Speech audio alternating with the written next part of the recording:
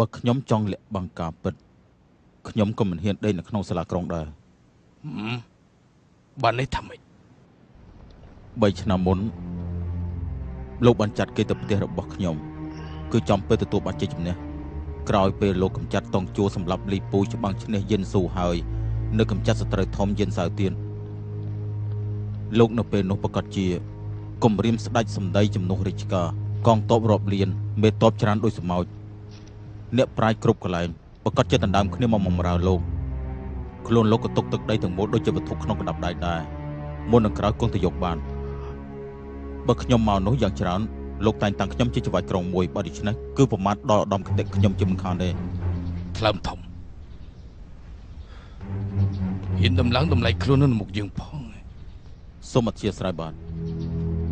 ខ្ញុំគ្រាន់តែនិយាយតាមត្រង់តែប៉ុណ្ណោះ ខ្ញុំមិនចង់សុំចែកស្រាមមកពេញនៅក្នុងពិធីជប់លៀងរបស់គេទេគ្រាន់តែចង់ជូនអង្គគេមួយតៅនៅពេលដែលគេអត់ឃ្លាន ពេលនេះលោកអបរាជធ្វើសង្គ្រាមចាញ់គ្រោះថ្នាក់នៅជុំវិញខ្លួន គឺដល់ពេលត្រូវការមនុស្សប្រាទៀតហើយ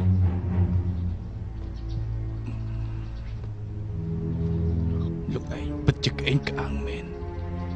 បើតាមខ្ញុំដឹងក្នុងជំរំរបស់លោកមានជនក្អេងក្អាងជាច្រើនក៏មានជនថោកទាបជាច្រើននេះដែរតែលោកអបរាជគ្រប់គ្រងបានល្អណាស់ អាចប្រើវត្ថុនិងមនុស្សអស់ពីប្រយោជន៍របស់វាមិនខ្វល់ថាគេជាជនក្បត់ឬក៏ជនក្អេងក្អាងទេសុទ្ធតែស្ម័គ្រចិត្តសង់គុណសម្បត្តិជូនលោកអបរាជទាំងអស់ហើយដូច្នេះនេះបញ្ជាក់ថាលោកឆ្លៀសវៃប៉ុណ្ណាស៊ឺម៉ៃស៊ឺម៉ៃស្អែកលោកទៅស៊ីឆាំងជាមួយខ្ញុំអឺកុំថាខ្ញុំថ្លាមធំណា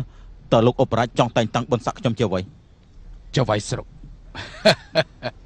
មានមនុស្សចង់បានបុណ្យស័ក្តិដូចជាលោកឯងសួរមុនទៅធួចាត់ក្នុងចិត្តខ្ញុំមានតំណែងដ៏សំខាន់មួយរោគមនុស្សយូរហើយតែរោគមិនបានខ្ញុំចង់ឲ្យលោកកាន់តំណែងនេះសូមលោកអបរាជផ្ដែផ្ដាំគ្រូក្នុងដំណាក់ខាងកើត គឺជាគ្រូឆៅឆុងកូនប្រុសខ្ញុំ លោកទៅបង្រៀនអក្សរដល់វា នៅក្នុងចំណោមកូនប្រុសខ្ញុំអាចឆុងឆ្លាតជាងគេលោកអបរាជលោកប្រុសឆៅឆុងទើបតែអាយុ10ឆ្នាំហ្នឹងឲ្យខ្ញុំបង្រៀនពីអីទៅវាទៅតែអាយុ10ឆ្នាំមែនតែវាឆ្លាតណាស់លោកឲ្យខ្ញុំធ្វើជាចៅហ្វាយក្រុងវិញទៅហ៎បើលោកមិនស្ដាប់ខ្ញុំទេខ្ញុំនឹងសម្លាប់លោកចោល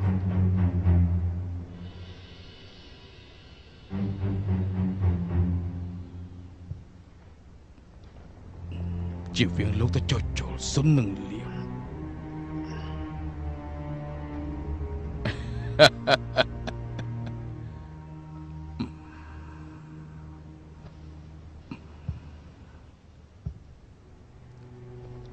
ជុងតាការបរាជ័យនៅឈើពីរធ្វើឲ្យខ្ញុំជឿចិត្តខ្លាំងកិច្ចការធំនៃការកាន់កាប់ទឹកដីមិនត្រឹមតែត្រូវការពេលវេលា10ឆ្នាំទេ ប្រហែលជាត្រូវការពេលវេលាពី3ចំនួនទើបបានសម្រេចខ្ញុំរស់គឺពឹងលើចំណេះនិងកលល្បិចរបស់ខ្ញុំ មិនញញឹតសត្រូវខ្ញុំស្លាប់ទៅហើយតើគិតយ៉ាងម៉េចកូនចៅត្រកូលឆាវត្រូវការអ្នកប្រាជ្ញដូចជាលោកជួយជ្រោមជ្រែងទើបអាចរស់នៅនិងក្តាប់អំណាចក្នុងសម័យសង្គ្រាមនេះអឺតើលោកយល់ពីគំនិតខ្ញុំទេ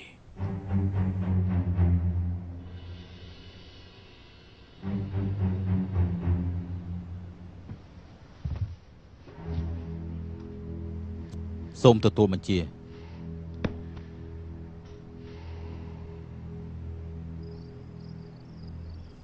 ឆៅយិនអ្នកស៊ើបការមកវិញហើយណាលាវប៉ៃនិងសុនឈិនមានសកម្មភាពអីទេអ្នកស៊ើបការថាពេលនេះចៅអ៊ីបានបោះតបនៅយៅជាងលាវប៉ៃបានបោះពីតបគ្នានៅ300ស៊ីខៅយកក៏ខ្ញុំធំក្លិនវាដែរមុខព្រួយរបស់ពួកវា គឺសំដៅទៅណាន់ជីង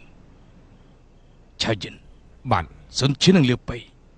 ចង់បានជីងសៀងយូនណាមកហើយគង់តែលើកតបមកវាយទេដូច្នេះបើពួកគេចង់វាយយកជីងសៀងត្រូវវាយណានជីងជាមុនឯងត្រូវទប់ឲ្យជាប់កុំប្រហែសឲ្យសោះ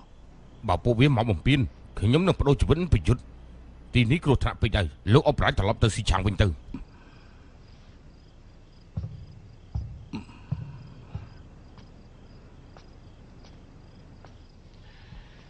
ឆាយិន អ្វីទៅបិទតាណានជាងតបតិចប៉ុន្តែចិញ្ចាំងក្រុងរឹងមាំពិបាកវាយលុកខ្ញុំទៅស៊ីឆាងវិញនឹងចាត់តបមកជួយឯងភ្លាមចាំមកច្បាស់ទោះជាមានរឿងអីក៏ឡើងក៏ដោយត្រូវការពៀនណានជាងឲ្យបាន មិនឲ្យបាត់បង់ទេទទួលបញ្ជាលោកអបរាជលោកអបរាជអឺលោកអបរាជស៊ីឆាំងមានដំណឹងបន្ទាន់អ្នកណាផ្ញើមក ស៊ីងអ៊ី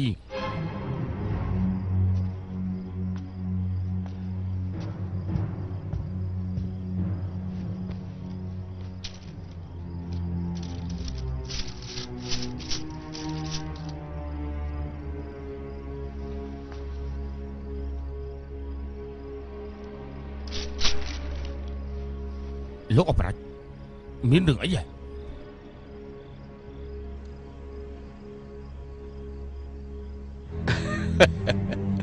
សិងអ៊ីពិតជាសាំញ៉ាំមែនហានជីចិត្តឆ្លងទលាហើយគ្រាន់តែរឿងតូចតាចសោះក៏ផ្ញើសារបន្ទាន់មកឲ្យខ្ញុំដែរសូមអបអរលោកអបរាជលោកអបរាជមនុស្សស្រីពិតជាពិបាកមែនពេលណាមិនកើតមកកាត់កូននៅចំពេលនេះបានហើយស្អែកព្រឹក ខ្ញុំត្រឡប់ទៅស៊ីឆាងវិញឆៅយិនឆៅហុកពួកឯងឆាប់ត្រៀមចំភ្លាមទៅទទួលបញ្ទទួលជាបញ្ជាជួលបញ្ជា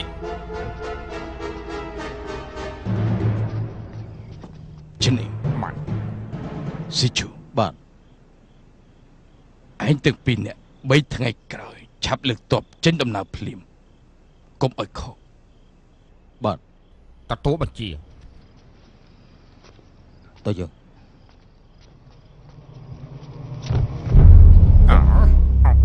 លោកអបរាជលោកអបរាជលោកអបរាជលោកអបរាជលោកអបរាជយ៉ាងមិនទៅហើយក្បាលខ្ញុំឈឺចិត្តប្រះហើយសិងអ៊ីផ្ញើសារបន្ទាន់មកម៉ាថងនិងហានស៊ុយនៅអេស៊ីលៀងលើកតប80000នាក់មកវាយឆ្មក់ស៊ីឆាងទាំងយប់ហើយថាម៉េចពួកវាឆ្លៀតពេលភ្លើងឆេបគ្រាន់គីទៅពួកយើងទើបតែច្បាំងចាញ់នៅជីពី ពួកវាក៏ឆ្លៀតពេលមកវាយឆ្មក់ពួកយើងនៅខាងក្រោយលោកអបរាជបើស៊ីឆាំងត្រូវវាយបាច់នោះសុនឈៀននិងលាវប៉ៃប្រកាសជាឆ្លៀតអកាំងមកវាយយើងដល់ពេលចាំមិនទៅដាច់ខាត់មិនអោយជំរុំទប់ណានជីងដឹងដំណឹងនេះទេបើមិនចឹងកងទប់នឹងបាក់ទឹកចិត្តសភាពការឹតតែជ្របុកជ្របល់ខ្ញុំមិនអាចជិះសេះទៅទេចិនអ៊ីរៀបចំរទេះសេះបញ្ជូនខ្ញុំទៅស៊ីឆាងទាំងជប់ ស៊ីជូបាទលោកឆាប់ជិះសេះយ៉ាងលឿនទៅស៊ីឆាងវិញភ្លាមប្រាប់សឹងអ៊ីថាប្រាប់ថាព្រឹកថ្ងៃ9កើតខ្ញុំទៅដល់ស៊ីឆាងវិញ ប្រាប់គេថាអូចាត់កូនចៅទូស្គរឲ្យលឺលឺទទួលខ្ញុំ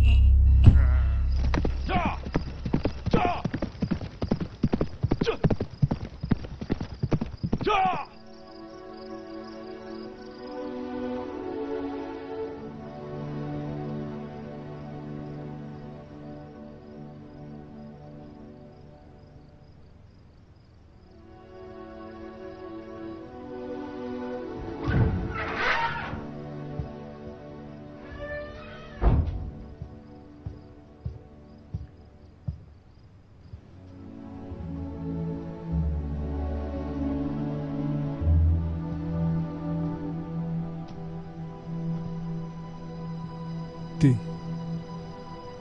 ខ្ញុំកំពុងតែស្ដាប់សំឡេងខ្យល់ខ្យល់ធ្លាក់នៅពេលស្ងៀមស្ងាត់ត្រជាអាចស្ដាប់ឮសំឡេងខ្យល់ចម្ងាយតែ3យោជន៍ទេបើចង់ស្ដាប់សំឡេងខ្យល់30យោជន៍គឺមានតែប្រចិត្តទៅខំស្ដាប់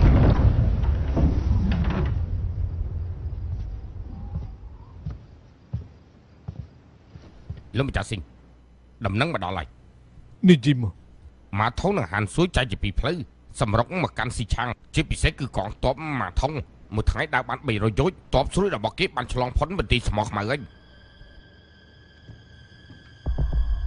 ហេតុអីក៏ចេះជាពីរផ្លូវហេតុអីក៏មិនដើរតាមផ្លូវធំបើជាវៀងកាត់បន្ទាយថ្មខ្មៅទៅវិញ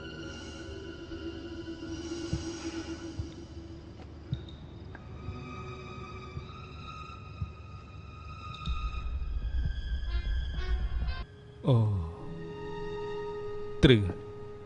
ត្រូវសម្បកក្រៅពួកវាមើលទៅខ្លាំងណាស់តែតាមកាពិតក្នុងចិត្តពួកវាគឺខ្លាចលោកអបរាជសេះរបស់ស៊ីលៀងភាកច្រើនជាសេះល្អបើតាមលបឿនបែបនេះតែប្រហែលថ្ងៃទៀតគឺមកដល់ស៊ីឆាំងយើងអញកងទ័ពធំប្រមាណថ្ងៃទៀតទើបមកដល់ប៉ុន្តែអ្នកស៊ើបការណ៍របស់ពួកវាប្រហែលជាចូលដល់ក្រុងស៊ីឆាងបាត់ទៅហើយពីព្រោះអញ ទីហ៊ានយាមក្រុងមានតែ6000នាក់ទេខ្ញុំឆាប់បិទទ្វារក្រុងហាមមិនឲ្យចេញចូលជាដាច់ខាតមិនអាចបិទទ្វារក្រុងជាដាច់ខាតបើបិទទ្វារក្រុង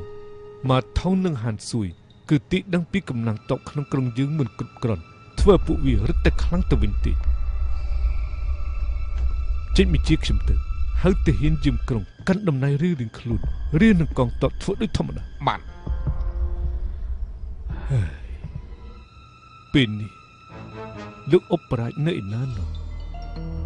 នៅក្នុងសារដែលលោកអបរាជផ្ញើមកពីណានជីងបានសរសេរថាព្រឹកថ្ងៃ9កើតគាត់មកដល់ស៊ីឆាំងហើយ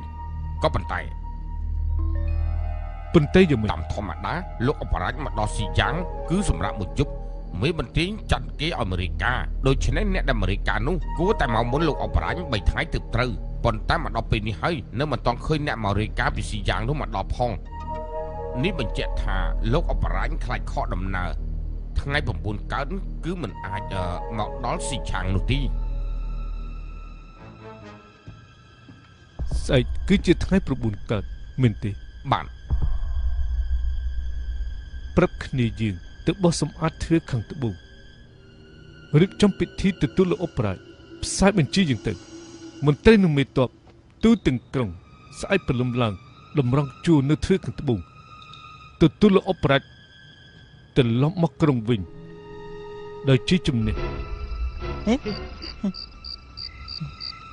លោកប្រុសមុននេះលោកប្រុសធំគ្រួសារចង់យកសេនាប្រមុខខ្មែររបស់គាត់មកចូលជាមួយខ្នងមានរបស់យើងលោកដឹងថាម៉េចទេខ្នងមានក៏លោតឡើងលើខ្នងសេនាប្រមុខខ្មែរខំវៀនឡើងដាច់ពីកណាត់ត្មងណាល្អពិតជាធ្វើខ្ញុំមានមកវត្តណាស់មើលវាបានអត់ណាអេ ក្រែងគ្រួសារចុងនៅមានសេនាប្រមុខប្រាក់មួយទៀតឯងថ្ងៃស្អែកណាយកខ្នងមាសនេះទៅជុលជាមួយវាបាទៅត់ទៀនលោកប្រុសសុំជើញអាយពោះពោះពោះអូយពោះពោះអូយពោះពោះពោះពោះតើតើ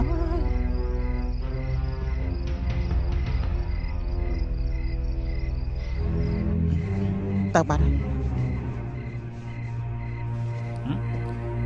មិនក៏សំណាក់អបរាញមានពូសំចាចាក់ក់អបរាជមានពោះលោកប្រុសគឺពោះវ័យ5ជំហានហ៎លោកប្រុសមិនតន់ដឹងទេមុននេះសេះចម្បាំងរបស់លោកម្ចាស់ស៊ីងស្រាប់តែងាប់បាត់សើបយ៉ាងណាក៏អត់ដឹងពីមូលហេតុដែរប៉ុន្តែខ្ញុំដឹងគឺត្រូវពោះ5ជំហាននោះចឹកតែខ្ញុំនិយាយចេញមកអត់មានអ្នកណាជឿសោះលោកប្រុសពោះ5ជំហានគឺពោះមហាពឹសលោកប្រុសត្រូវប្រយ័ត្នផង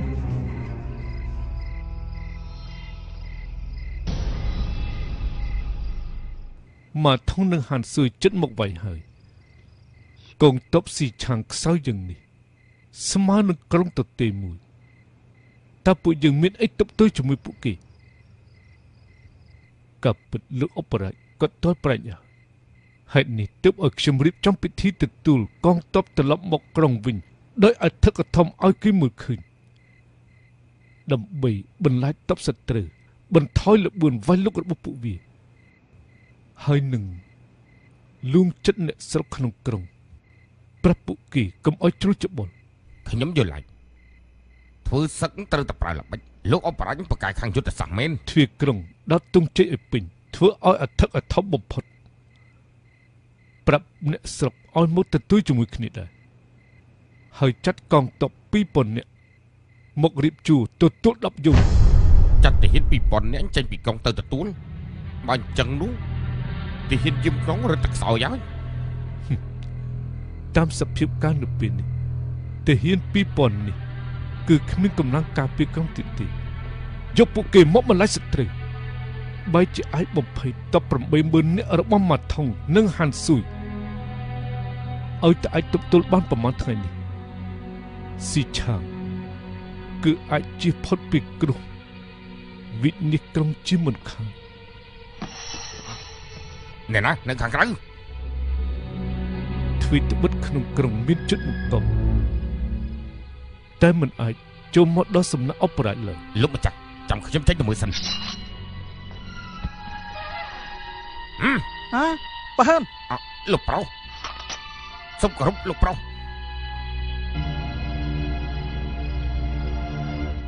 អើលោកប្រុសលំចាស់ស៊ីង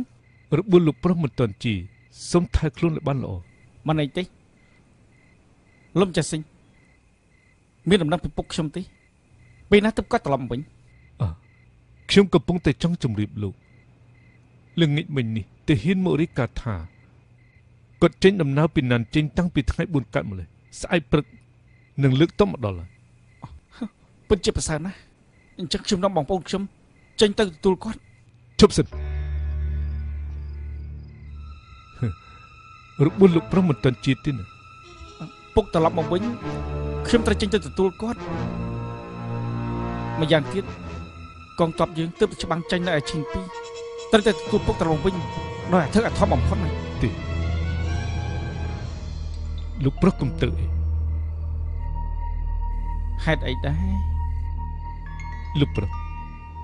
ខ្ញុំសូមជម្រាបលោកប្រុសតាមត្រឹមត្រូវប៉ុន្មានថ្ងៃទៀតក៏លោកអបរាជ មិនត្រឡប់មកវិញដែរពិធីទទួលលោកអបរាជនេះ គឺធ្វើឲ្យគេមើល បំភ័យម៉ាថុងនិងហាន់ស៊ុយទេដូច្នេះលោកប្រុសពិតជាមិនបាច់ទៅទេអូខ្ញុំយល់ហើយលីសិនហើយអញ្ជើញតាមសម្រួល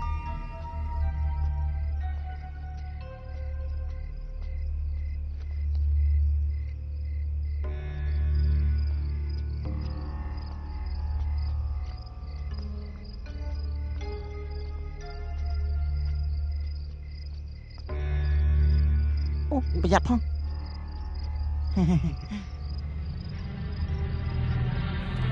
បាទទៀន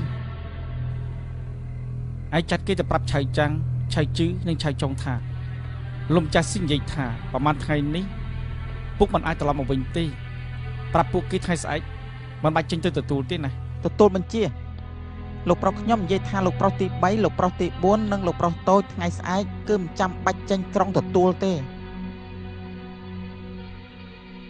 លោកប្រុសមិនមែនអញ្ចឹងទេឯងស្ដាប់ឲ្យច្បាស់ណាមិនមែនខ្ញុំមិនឲ្យពួកវាចេញទៅទទួលទេ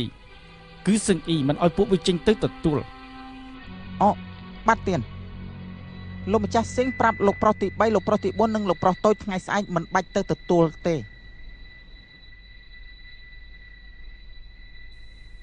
ត្រូវហើយ លោកប្រុសបើថ្ងៃស្អែកលោកអបរាជមិនទាន់ត្រឡប់មកវិញទេអញ្ចឹងយើងឆ្លៀតឱកាសនេះណាត់លោកប្រុសធំគ្រួសារចុងចេញមកឲ្យសេនាប្រមុខប្រាក់របស់គាត់ចូលជាមួយនឹងក្នុងមាសរបស់យើងចាំមើលមើលអ្នកណាខ្លាំងជាងអ្នកណាឲ្យកំពុងចរិតមកខ្ញុំណា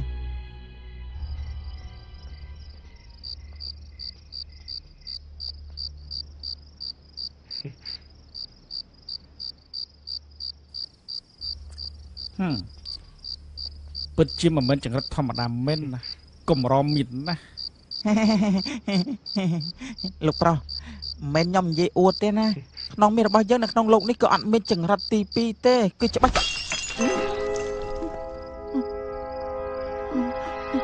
លោកប្រុសមកចឹងនៅថ្ងៃស្អែកយើងមិនអោយលេងល្បែងនេះតិចតិច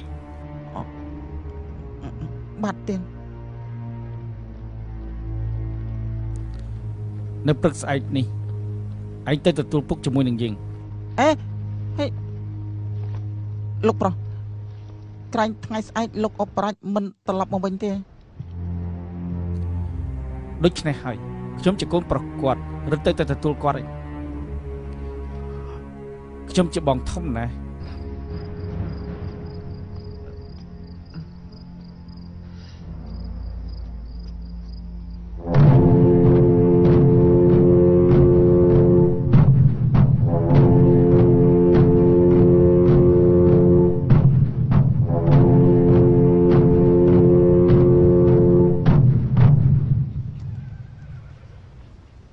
អស់លោកមន្ត្រី និងមេតបទាំងអស់គ្នាលោកអបប្រាជផ្ញើសារមកប្រាប់ថាគាត់បានលើកតបចាក់ចេញពីណានចេញតាំងពី3ថ្ងៃមុនម្លេះថ្ងៃនេះមកដល់ស៊ីឆាងហើយគាត់ត្រឡប់មកវិញលើកនេះ បាននាំតបថ្មើរជើង80000នាក់និងតបសេះ30000នាក់សរុបទាំងអស់គឺ110,000នាក់ថ្មីថ្មីនេះ ក្នុងក្រុងមានពាក្យចចាមអារាមខ្លះថា ជំងឺឈឺក្បាលរបស់លោកអបរាជរើឡើងខ្ញុំប្រាប់ពួកលោកចុះលោកអបរាជមានស្មារតីស្វាហាប់ណាស់សុខភាពមមមុនណាស់បន្តិចទៀតពលលោកបានជួបគាត់ដោយផ្ទាល់ភ្នែកនៅមានរឿងមួយទៀតសូមពួកលោកដាច់ខាតកំប្រាប់គេថា លោកអបរាជក្រៅពីលើកតប110,000ត្រឡប់មកវិញ នៅចេញបញ្ជាឲ្យតបសេះឈិនជើ50,000នាក់ទៀតទៅកាន់បន្ទាយថ្មខ្មៅទាំងយប់តែម្ដងវាយឆ្មក់តបចោលរបស់ម៉ាថងនិងហាន់ស៊ួយអូអូបើចាស់អស់ហើយចឹងអស់ហើយណាស៊ីឆាងស៊ីឆាងលេងមានការព្រួយបារម្ភទៀតហើយមែនទេ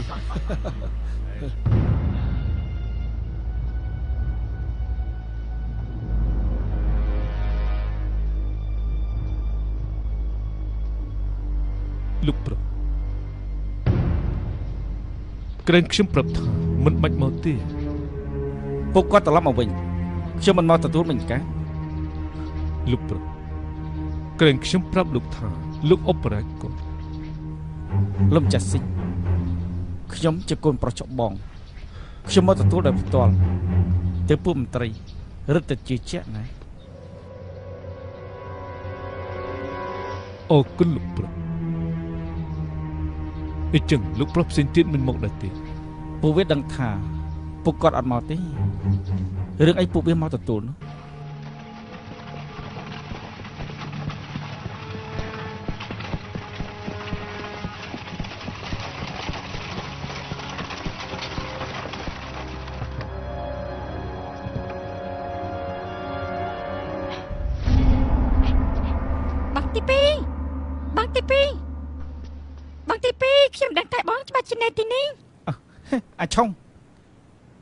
ចែកនៅទីនេះ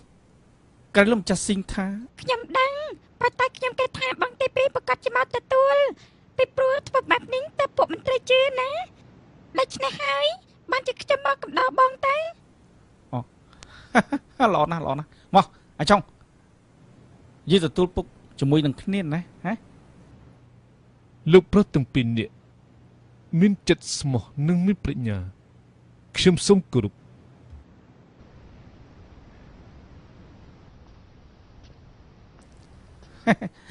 អាឆុងហ៎មានអីមកកំដរបងពិតជាប្រសើរណាស់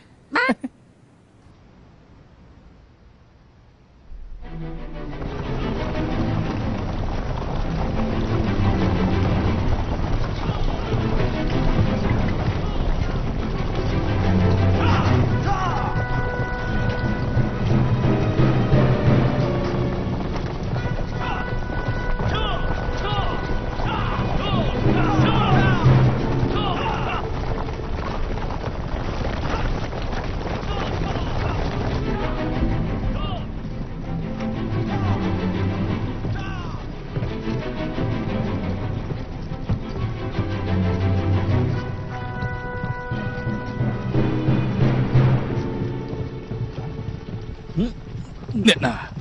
លោកអបរាជខ្ញុំគឺស៊ីម៉ាអ៊ី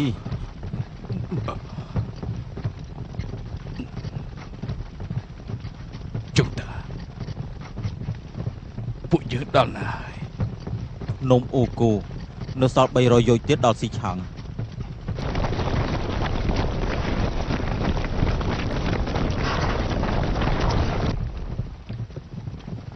ជុំតាខ្ញុំ ឈឺក្បាលខ្លាំងទ្រាំលេខបានខ្ញុំចិត្តស្លាប់ហើយលោកអបរាជមិនស្លាប់ទេ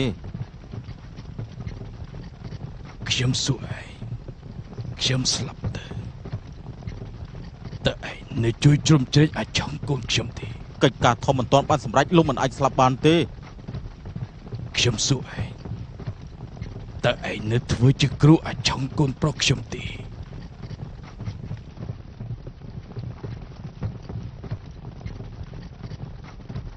ខខ្ញុំមិនក្បត់នឹងបញ្ជារបស់លោកអបរាជទេ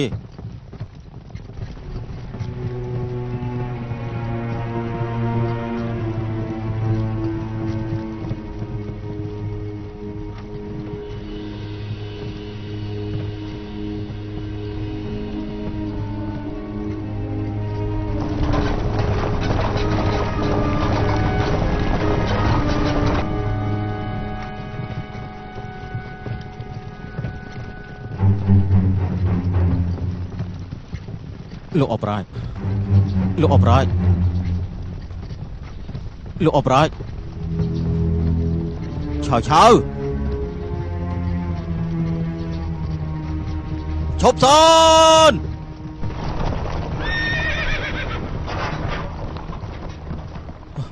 ជួយផងជួយផងឆាប់ជួយផងជួយផងជួយផងជួយផងអើលឿនឡើងជួយផងជួយផងជួយផង មកហើយមកហើយលោកអបរាជមកហើយលោកអបរាជលោកអបរាជលោកអបរាជឆៅឆៅឆៅឆៅឆៅឆៅស្រីស្អីខ្ញុំនៅនេះហ៎អូ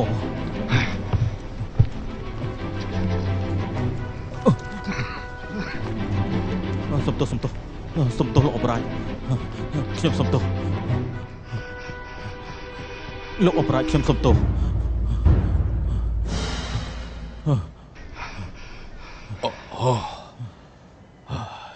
ស្រួលខ្លួនណាស់បាត់ជើងតូចហើយស្រួលខ្លួនមែនមិញលោកអបរាជមិញមិញខ្ញុំយ៉ាងម៉េចហ៎មិញខ្ញុំជឿក្បានតិចតួចតើ និយាយឲ្យចំគឺឈឺចង់ប្រេះលាតែម្ដង តែដល់ពេលជាគឺជាហើយហេតុអីក៏អញ្ចឹងពេលជំងឺខ្ញុំរើឡើងគឺអញ្ចឹងហើយដល់ពេលឈឺដូចកំបិតកាប់ពូថៅពូនអញ្ចឹងតែដល់ពេលជាគឺដូចធម្មតាខ្ញុំចាំថាម្ដងនោះសង្គ្រាមនៅគុនទូក៏អញ្ចឹងដែរខ្ញុំឈឺដេកមិនលក់ប្រហែលថ្ងៃលោកដឹងថាចុងក្រោយជាតិដល់របៀបម៉េចទេខ្ញុំអត់ដឹងទេ គឺដំណឹងអាចចោលឈិនលៀងជេរខ្ញុំឡើងជា នៅក្នុងអត្ថបទគេជេរដូនតាខ្ញុំ3ចំនួនជេរដល់ខ្ញុំងើបមុខមិនរួចដល់ចុងក្រោយជេរដល់ឈាមខ្ញុំដើរស្រួលវិញជីបចោលលុតធម្មតា ក្បាលក៏បាត់ឈឺហេចុងតាមិញឯងនិយាយសំទោសសំទោសរឿងអីខ្ញុំហៅឈ្មោះលោកអបរាជសូមលោកអបរាជដាក់ទោសខ្ញុំទៅចុះឈ្មោះខ្ញុំហេតុអីមិនអាចហៅបានគ្រាន់តែឈ្មោះមនុស្សប៉ុណ្ណោះ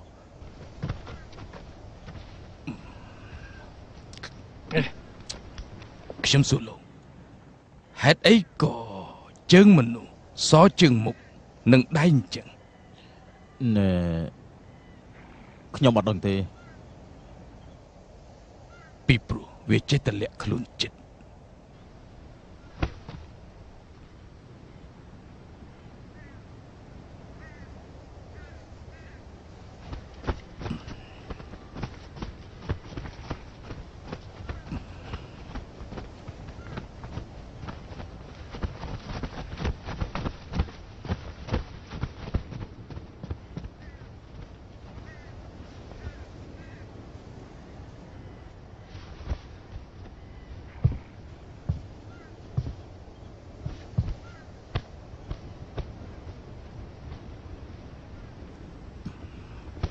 ញដំណើរឆាប់ចេញដំណើរ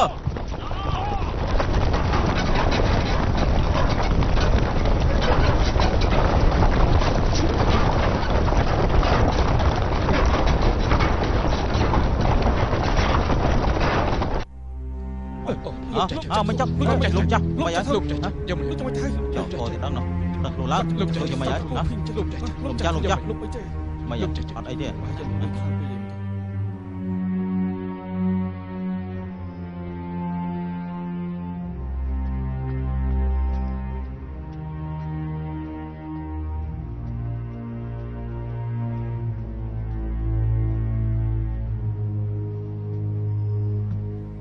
អស់លោកទាំងអស់គ្នាអំបញ្ញមិញលោកអបរាជចាត់គេនាំពាក្យមកថាថ្ងៃនេះគាត់សម្រាប់នៅសៀងយ៉ាងមួយយប់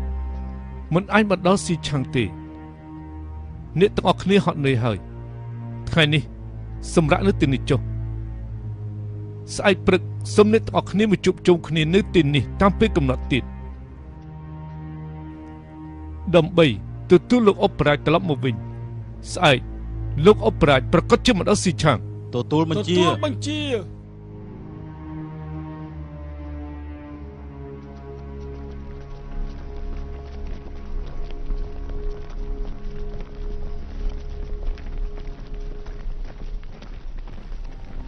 សូមលោកប្រទំពីអញ្ជើញទៅវិញចុះបងទី2ត្រឡប់ទៅវិញទៅ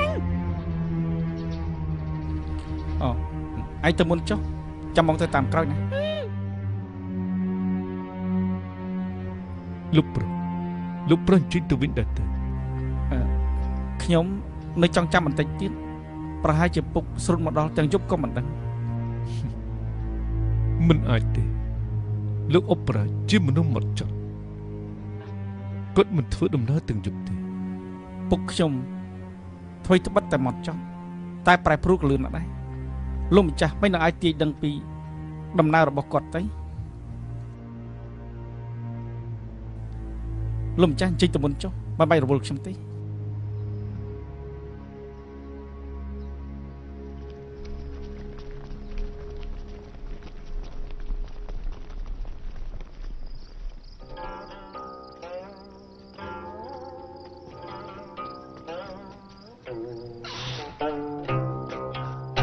លំចាស់ស៊ីអ្នកស៊ើបការមកហើយ អ្នកស៊ើបការដែលចាត់ទឹក3ជើងបានត្រឡប់មកវិញពីរជើងហើយគេថាតបស៊ីលារបស់ម៉ាថុងបានមកដល់មន្ទីរថ្មខ្មៅពួកគេបានបោះជំរំនិងរៀបក្បួនការពារផ្អាកធ្វើដំណើរសិនហើយលោកអូស៊ើបតទៅទៀតរឿងរាល់ពីយាមចាត់អ្នកស៊ើបការទៅដល់ល្បាតមួយជើងបាទឈប់សិនលោកប្រុសឆើភ័យត្រឡប់មកវិញហើយនឹងអឺលោកម្ចាស់ ខ្ញុំយល់ថារឿងនេះដូចជាចម្លែកណាស់យ៉ាងម៉េចជាក់ស្ដែងណាស់លោកអបរាជមិនត្រឡប់មកវិញទេប៉ុន្តែអ្នកប្រភីបែរជាឈរនៅមាត់ទ្វាររងចាំលោកអបរាជទៀត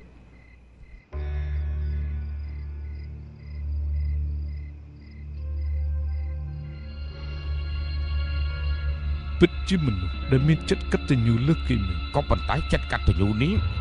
លោកអបរាជមិនបានមើលឃើញផងនឹង ប៉ុន្តែពួកមន្ត្រីមើលឃើញទេវតាមើលឃើញឲ្យតែទេវតាមើលឃើញលោកអបរាជក៏គង់តែមានថ្ងៃមើលឃើញដែរប៉ុន្តែលោកម្ចាស់ចិត្តកតញ្ញូរបស់លោកប្រភីនេះនៅមានពាក្យចាំអារម្មណ៍ខ្លះនិយាយមកមានមនុស្សជជែកគ្នាថាលោកប្រភីធ្វើអញ្ចឹងគឺចង់បង្ហាញពីចិត្តស្មោះ ចំពោះលោកអបរាជគឺដើម្បីស្នងតំណែងពីលោកអបរាជប៉ុណ្ណោះបិទមាត់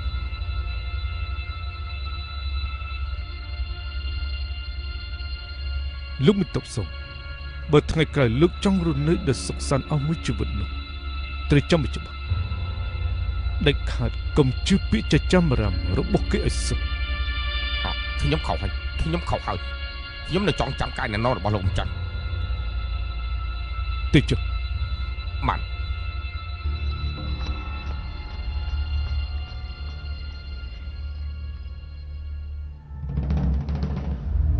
អូថ្ងៃនេះជាថ្ងៃទី4ទៅហើយមើលទៅក៏នៅតែមិនទាន់មកដល់ទៀតហើយ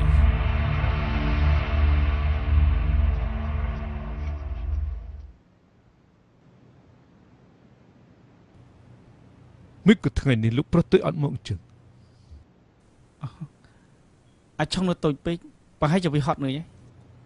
អឺថ្ងៃនេះគាត់គូទៅមកហេតុអីដែរថ្ងៃត្រង់នេះលោកអបរាជប្រកាសជាមកដល់គាត់ចាំអស់3ថ្ងៃទៅហើយ តែដល់ថ្ងៃនេះបែរជាអត់មកទៅវិញលោកម្ចាស់ស៊ីងលោកអបរាជមកដល់ហើយខ្ញុំឃើញអតេះគាត់ហើយ Tungsko Tetul Obrat.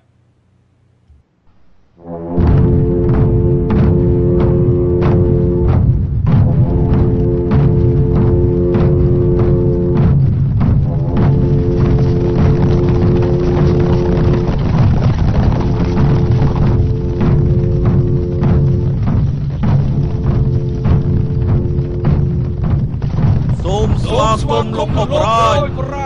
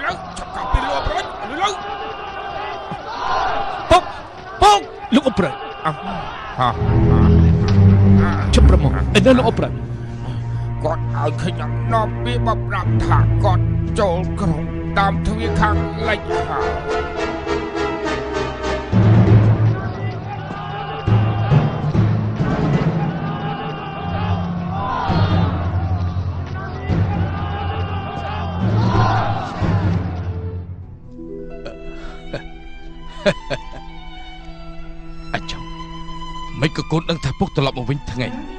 ហ៎បីថ្ងៃជាប់ជាប់គ្នាហើយនៅម្ចាស់សិងសិតទៅហៅពួកមន្ត្រីទៅទ្វារខាងត្បូងទទួលពុកប៉ុន្តែមិនឃើញមកសោះខ្ញុំគិតថាប្រកាសជាទៅទ្វារខាងត្បូងទទួលពុកតែ20ពុកទេដឹងប៉ុន្តែបីថ្ងៃជិតទៅកន្លងទៅខ្ញុំចាំមើលផ្លែពុកមិនឃើញសោះតែពួកគេទៅទទួលពុកនៅទ្វារខាងត្បូងហេតុអីកូនមកទទួលពុកនៅទ្វារខាងលិចពិធីរៀបចំនេះទ្វារខាងត្បូងត្រូវរៀបចំអស់3ថ្ងៃ ទូទាំងក្រុងទៅទាំងអស់គ្នាឬអីពួកចៅគេមិនដឹងនោះបើសិនជាពុកចូលតាមទ្វារខាងត្បូងពួកចៅប្រកាសជាដឹងហើយនឹងទៅធ្វើខៀនពុកឆ្លាតជាងនេះគឺច្បាស់ជាមិនទៅទ្វារខាងចុះមិនក៏កូនទៅទទួលពុកនៅទ្វារខាងលិចពុកក៏អាចចូលតាមទ្វារខាងកើតឬក៏ទ្វារខាងជើងដែរតែខ្ញុំទេដឹងថាបើតបស្រីរៀងបាច់ចូលឆាងអានប្រកាសជាចូលតាមទ្វារខាងលើពីព្រោះទ្វារខាងលើទល់មកភ្នំចិញ្ចាំងក្រុងបាច់បាក់ច្រើនយ៉ាងនេះ ក្រែងពងបារម្ភពីទ្វារខាងត្បូងមែនទេហើយពុកចូលមកក្រុងគឺច្បាស់ជាតាមទ្វារខាងលិចហើយជុងតាលោកយល់ថាកូនប្រុសខ្ញុំយ៉ាងម៉េចដែរឆ្លាតគ្មាននរណាប្រៀបកម្របបានជួបខ្ញុំប្រាប់លោកតាមត្រង់ក្នុងចំណោមកូនប្រុសខ្ញុំទាំង4នាក់មានតែអាចឆុងទេឆ្លាតជាងគេយកតែរឿងទទួលនេះមកនិយាយទៅបានហើយពួកបងបងគេ ទៅទទួលខ្ញុំនៅទ្វារខាងត្បូងអាចឆុងធ្វើបើនៅតូចតែវាគ្រាន់តែក្រឡេកក៏មើលធ្លុះភ្លាមឆ្លាតជាងបងប្រុសគេទាំងអស់នោះឆ្ងាយណាស់ហ៎លោកអបរាជនិយាយត្រូវណាស់កូនឆុងគាត់ឈ្មោះស៊ឺម៉ាអ៊ីហើយចុងតាចាប់ពីថ្ងៃនេះទៅគាត់ជាគ្រូរបស់កូនហ៎ទៅទៅគ្រប់លោកគ្រូទៅ សាឆាចង់សុំគោរពលោកគ្រូខ្ញុំមិនហ៊ានធ្វើជាគ្រូទេ អាចបំរើលោកប្រុសបាន គឺជាកិត្តិយសរបស់ខ្ញុំហើយបាទសុំគ្រប់ពុកសូមគ្រប់លោកអប្រាជ្ញស៊ឹងអ៊ី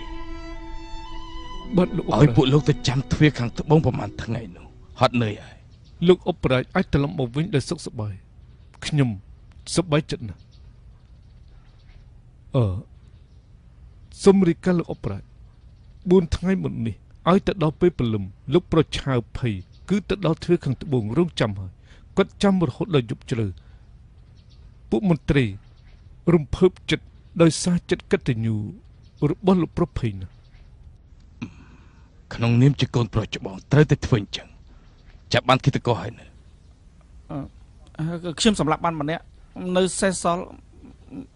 មិនទាន់ចាប់បានទេពួកវាមកពីណាអឺពួកឃាតករ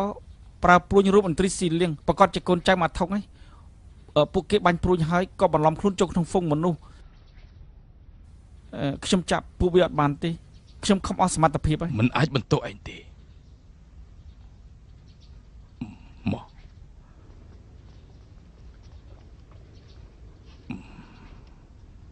គប់ជន់ថ្ងៃនេះពួកឯងនៅទីនេះទាំងអស់ពុកចង់ចេញសំណួរមួយ ប្រឡងពួកឯងសុំពុកសួរមកចុះក្នុងពេលនេះឃាតករប្រហែលជានៅក្រុងស៊ីឆាំងនៅឡើយពួកឯងនិយាយទៅតើពុកប្រើវិធីអីទប់ទល់ជាមួយពួកឃាតករទាំងនេះ